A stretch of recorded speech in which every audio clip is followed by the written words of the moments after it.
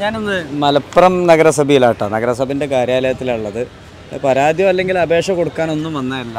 ഇവിടെ നഗരസഭയിലേക്ക് പ്രവേശിക്കുന്ന ഇടത്ത് ഭാഗത്തൊരു കോഫി ഷോപ്പ് പോലെയുള്ള സംവിധാനം സെറ്റ് ചെയ്തിട്ടുണ്ട്. ഇവിടെ വരുന്ന എല്ലാവർക്കും കഴിഞ്ഞ ഒരു മാസമായിട്ട് പായസം കൊടുക്കുന്നുണ്ട്. സൗജന്യമായിട്ട് പായസം ഉണ്ട് അപ്പോൾ വന്നാൽ ബോറടിക്കൂല. നിങ്ങൾക്ക് അവിടെയുള്ള വർക്കുകളൊക്കെ ചെയ്യാനും പറ്റും. നിങ്ങൾ എന്തെങ്കിലും അപേക്ഷ ഉണ്ടെങ്കിൽ അത് കൊടുക്കാനും പറ്റും. അതിനിടയിൽ പിന്നെ ഓരോ ദിവസവും വ്യത്യസ്ത രുചിയിലുള്ള പായസം. നമുക്ക് കുടിക്കാൻ പറ്റും. അപ്പോൾ ഇത് അപ്പോൾ ഇതിൽ പോകുമ്പോൾ മലപ്പുറത്തിന്റെ ഹൃദയഭാഗത്ത് തന്നെയാണ്. പലപ്പോഴും പല പ്രാദേശിക ഗവൺമെന്റ് സംവിധാനങ്ങളിലും ഈ ഒരു സംവിധാനം ഉപയോഗിക്കാൻ പറ്റും. ഇതിന്റെ ചെയർമാൻ മുജീബ് കാടേരിയുടെ പുതിയ ഏറ്റവും ലേറ്റസ്റ്റ് ആയിട്ടുള്ള എല്ലാവർക്കും ഇഷ്ടപ്പെടുന്ന ഒരു പദ്ധതിയാണ്. അപ്പോൾ അതിന്റെ വിശേഷങ്ങൾ നമുക്കൊന്ന് ചോദിക്കാം. അടിപൊളിയാണ്. അവിടെ കുറച്ച് തിരക്കൊക്കെ ഉണ്ട്. ഏതായാലും നമുക്കൊന്ന് പോയി നോക്കാം. അപ്പോൾ ഏതായാലും ചെയർമാന്റെ കൂടെയാണെന്ന് ഇരിക്കുന്നത് സുഹൃത്താവുമ്പോൾ ഒന്നുകൂടെ ഇന്റിമസി കൂടും. ഈ പായസത്തിന് മധുരം കൂടും സുഹൃത്തുക്കളാവുമ്പോൾ. പിന്നെ ഞാനിങ്ങനെ പൊക്കി പറയല്ല ഒരുപാട് കാര്യങ്ങൾ. ഈ പ്രായം ഒരു വലിയൊരു ഘടകമാണ്. ചെറിയ പ്രായത്തിൽ ഇങ്ങനത്തെ പോസ്റ്റൊക്കെ ഉണ്ടാകുമ്പോഴേ ഒരുപാട് ആശയങ്ങൾ മാത്രമല്ല ഇംപ്ലിമെന്റ് ചെയ്യാൻ പറ്റും. അങ്ങനെ ഒരു ഗുണമുണ്ട്. മുജീബിന് ആ സ്പെഷ്യൽ ഗുണമുണ്ട്. നിലക്കട്ടെ. ഏതായാലും പിന്നെ എന്താ ഇപ്പോൾ ഇതൊരു വളരെ ഡിഫറെന്റ് ആണ്. എല്ലാവർക്കും പായസം കൊടുക്കുക. അതെ. നഗരസഭയിൽ വരുന്നവർക്കോ? അതെ. നമ്മളെ ഇതിൽ ഇതുകൊണ്ട് ഉദ്ദേശിക്കുന്ന ആളുകളുടെ ഒരു കൺസെപ്റ്റ് ഈ ഗവൺമെന്റ് ഓഫീസ് എന്ന് പറഞ്ഞാൽ ഒരു ദ്രോഹിക്കുന്ന അത് ചിലപ്പോൾ ചില കാര്യങ്ങളെ നടക്കുള്ളൂ. ഒന്നും നടക്കില്ല സ്വാഭാവികമായിട്ടും. നടക്കാത്തതിന് കുഴപ്പമില്ല. നടക്കാത്തത് ഞാൻ ഇവരെ ജീവനക്കാരോടൊക്കെ പറയും നിങ്ങൾ കൺവിൻസ് ചെയ്ത് കൊടുത്താൽ മതി. ഇന്ന കാരണം കൊണ്ടാണ് നടക്കാത്തത്. എല്ലാം നമുക്ക് ചിലപ്പോൾ നമ്മളുടെ ഇതിൽ പെട്ടല്ലേ കാരണം. നമുക്ക് ചെയ്യാൻ കഴിയൂല പക്ഷേ ഒന്ന് ബോധ്യപ്പെടുത്തി കൊടുക്കാം അങ്ങനെ അത് ജീവനക്കാരുടെ നമുക്ക് പറയാനേ പറ്റുള്ളൂ. ഏതാണ്ട് ആ മൈൻഡ് സെറ്റിൽ തന്നെ ആളുകൾ ഇപ്പം കാലങ്ങളായി നമ്മളതിന്റെ പിന്നിലാണ്. കൗൺസിൽ സ്റ്റാർട്ട് ചെയ്ത മുതലേ ജീവനക്കാരോട് വിളിച്ച് പറയും യോഗം വിളിച്ച് പറയും. നിങ്ങളെ ആളുകളോട് നമ്മൾ വിവിധ അവസ്ഥയിൽ വരുന്ന ആൾക്കാരെ കാരണം. ഇവിടെ ഒരാൾ വരുമ്പോൾ അവൻ അന്നത്തെ ഒരു ദിവസം ജോലി ഒഴിവാക്കിയിട്ടുണ്ടാവും കൂലിപ്പണിക്കാരനെ കാരണം. അവന്റെ ശമ്പളം കിട്ടിയിട്ട് മരുന്ന് വാങ്ങേണ്ട രോഗിയായ വീട്ടിലെ മാതാപിതാക്കളുണ്ടാവും. ഒരു രൂപന്റെ മുട്ടായി അഞ്ച് രൂപന്റെ മുട്ടായോ നമ്മളെ വീട്ടിലെ കുട്ടിക്ക് കിട്ടുന്നത് പോലെ ഇഷ്ടപ്പെടുന്ന ഒരു കുട്ടി ആ വീട്ടിൽ ഒന്നോ കുട്ടികളുണ്ടാവും. അതൊക്കെ നഷ്ടപ്പെടുത്തിയിട്ടാണ് ഈ വരുന്നത്. അഥവാ ഒരാളെ വരവിന് നമ്മൾ കണ്ട് ഒരുപാട് ദുഃഖം പേറിയ ഒരാളാണ് വരുന്നത് പക്ഷേ നമ്മൾ അവനോട് ഒറ്റയടിക്ക് നടക്കൂല ചെയ്യൂല എന്ന് പറയുന്നതിനുപരി പറ്റുന്നത് എങ്ങനെയെങ്കിലും ചെയ്യുക ചെയ്യാൻ പറ്റില്ലെങ്കിൽ അതിന്റെ കാരണം അവർക്ക് ബോധ്യപ്പെടുത്തി കൊടുക്കാം. അപ്പോൾ പിന്നെ നമ്മൾ പറഞ്ഞു ഇതിന്റെ ഒരു അഡീഷണൽ കൂടി വേണം. എന്ന് വെച്ച് കഴിഞ്ഞാൽ പോകുന്ന ആളുകളിപ്പം എല്ലാവർക്കും നമുക്ക് ഒരേപോലെ കൊടുക്കാൻ കഴിയുന്ന എന്തെങ്കിലും ഒരു സൊല്യൂഷൻ വേണം. അങ്ങനെ ആലോചിച്ചപ്പോഴാണ് നമ്മളൊരു പ്ലാൻ ചെയ്തത്. വരുന്ന എല്ലാവർക്കും ഇതിന് വേണ്ടി പദ്ധതിയിൽ വകയിരുത്തി നല്ല സൗകര്യങ്ങൾ റെഫ്രിജറേഷനും പ്രത്യേകിച്ച് ഗ്യാസ് കണക്ടിവിറ്റിയും ഇതിന് വേണ്ട എക്യുപ്മെന്റുകളൊക്കെ പദ്ധതി വലിയ ഉപയോഗിച്ച് പണം വരുത്തി. ഒരു വെൽക്കം കോർണർ എന്ന് പറഞ്ഞൊരു കൗണ്ടർ വെച്ചു. അതിലേക്ക് രണ്ട് സ്റ്റാഫുകളെ വെച്ചു. ആ വെൽക്കം കോർണറിൽ വരുന്ന എന്ത് വന്നാലും ഞാൻ ആ കുട്ടി നല്ല എം എസ് ഡബ്ല്യു കഴിഞ്ഞ് ചെറുപ്പക്കാരായ കുട്ടികളെ വെച്ചത്. അതിന് നമുക്കൊരു കേന്ദ്ര പദ്ധതിയുടെ ഭാഗമായിട്ട് ഇന്റേൺസിന് വെക്കാനൊരു അവസരം കിട്ടി. നല്ല കാലിബറുള്ള രണ്ട് കുട്ടികളാണ് അപ്പോൾ ഇവർ നമ്മൾ പ്രൈവറ്റ് ഇപ്പോൾ ടെക്സ്റ്റൈൽസിലൊക്കെ ചെന്നാൽ കൂടെ ഒരാൾ ഇങ്ങനെ ഒപ്പം വരും. എന്താ വേണ്ടി എന്താ വേണ്ടി? അതുപോലെ ഒന്ന് മുനിസിപ്പാലിറ്റിയിലെ ഓഫീസിൽ എന്താ വേണ്ടി ഒന്ന് പോയി കൊടുക്കുക കൂടെ. അത് കഴിഞ്ഞ് വരുമ്പം ഇവിടെ ഒരു പായസമൊക്കെ കുടിച്ച് ചെറിയ കുട്ടികളുണ്ടെങ്കിൽ നമ്മൾ ചോക്ലേറ്റും സെറ്റാക്കി വെച്ചിട്ടുണ്ട്. കുട്ടികൾ വരുന്നെങ്കിൽ ഒരു ചോക്ലേറ്റും കൊടുക്കുക. ഇതിന്റെ പുറമെ ഇപ്പോൾ നമ്മൾ ഒരു നറുക്കെടുപ്പ് ഇത് ഞാൻ നമ്മുടെ ഒരു സ്വകാര്യ സ്ഥാപനം ഇതിനകത്ത് സഹകരിച്ചു. എല്ലാ മാസവും ഒരു വന്ന ഒരാളെ കൂട്ടത്തിൽ ഒരാൾക്ക് ഞങ്ങളിപ്പം അടുത്ത ഒന്നാം തീയതി മുതൽ അത് ഇവിടെ ഒരു ബോക്സ് വെക്കും. ഒരു ഇത് കൊടുക്കും.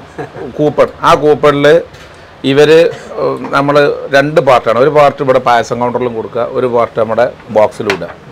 ഒരു മാ എല്ലാ മാസവും ഒരു പ്രഷർ കുക്കർ ഒരാളെ സമ്മാന അർഹനായിട്ട് കൊടുക്കും. അടുത്ത ഓഗസ്റ്റ് ഒന്നാം തീയതി ഒരു സ്മാർട്ട് ടി വി ഒന്നാം സമ്മാനം. സമാ ഗ്രാൻഡ് ഫൈനലി സ്മാർട്ട് ടി വി. അത് പതിനഞ്ച് പേർക്ക് അന്ന് പ്രഷർ കുക്കർ അതിലും കൊടുക്കുന്നു. ഇതെല്ലാം മാസം ഓരോ പ്രഷർ കുക്കർ അതും കൊടുക്കുന്നു.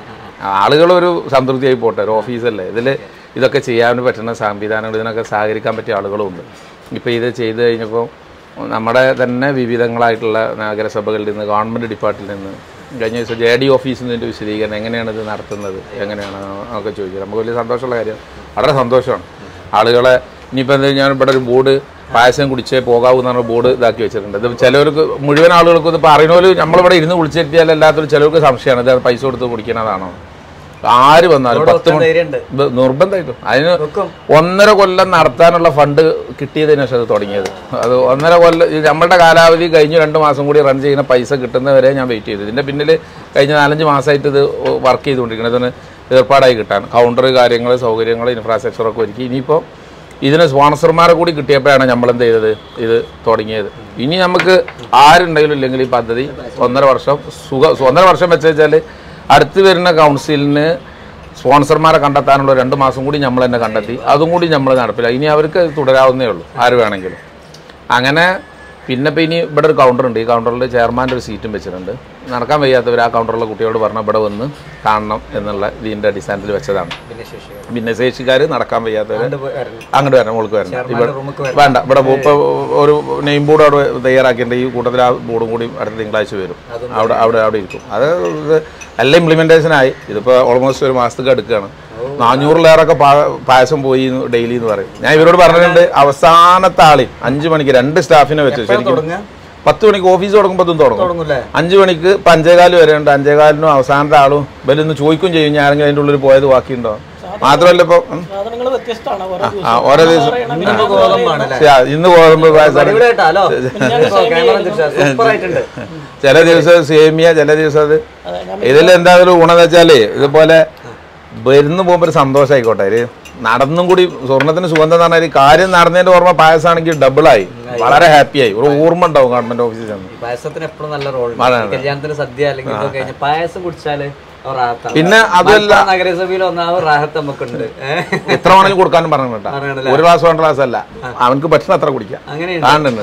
സൗകര്യങ്ങൾ നമ്മൾ അത് നിർബന്ധമായിട്ട് നടക്കും. ഞാനെന്താ അറിയോ? അസ്രദ്ദീനല്ലേ ഇനാഗ്രേറ്റ് അതെ, അതെ, അതെ. അപ്പൊ ഞാൻ കണ്ടു. അന്ന് ഞാൻ എന്റെ ഇല്ല. ഇവിടെ ഇല്ല. അപ്പൊ ഏതായാലും സന്തോഷം. കാണാൻ പറ്റിയല്ലോ. അതെ. എങ്ങനെയുണ്ട്? പായസം? പദ്ധതി എങ്ങനെയുണ്ട് അടിപൊളിയാണ്. പിന്നെ അത് മാത്രമല്ല എന്താ വെച്ചാൽ നമ്മൾ ഇന്നവരെ കാണാത്തൊരു സംഭവമാണ് ഞാനും ഒരു ഗവൺമെന്റ് ഓഫീസിൽ ഞാനും ഒരു ഗവൺമെന്റ് എംപ്ലോയി തന്നെയാണ്.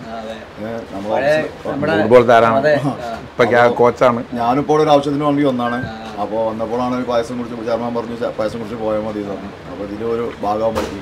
അടിപൊളി അല്ലേ അടിപൊളി. ഞാനൊരു ആവശ്യത്തിന് വന്നാണ് പായസം ആവശ്യത്തിന് വന്നാലും വന്നിട്ടില്ലെങ്കിലും ഇവിടെ എത്തിയോ ഒരു പായസം ഫ്രീ ഏതായാലും കൺഗ്രാചുലേഷൻസ് എന്താ എങ്ങനെയുണ്ട് ഈ പായസ സംവിധാനത്തെ സംവിധാനം വളരെ നല്ലതല്ലേ? എല്ലാവർക്കും വളരെ ഇപ്പൊ ഇത് പുറത്തുനിന്ന് പോലും ഇങ്ങനെ ആളുകൾ ഇത് കേട്ട് അതിനെ വേറെ രൂപത്തിലല്ല കാണുന്നത്. നല്ലൊരു സംരംഭമായിട്ട് തന്നെ എല്ലാവരും ഇപ്പം അതിനെ കണ്ടുകൊണ്ട്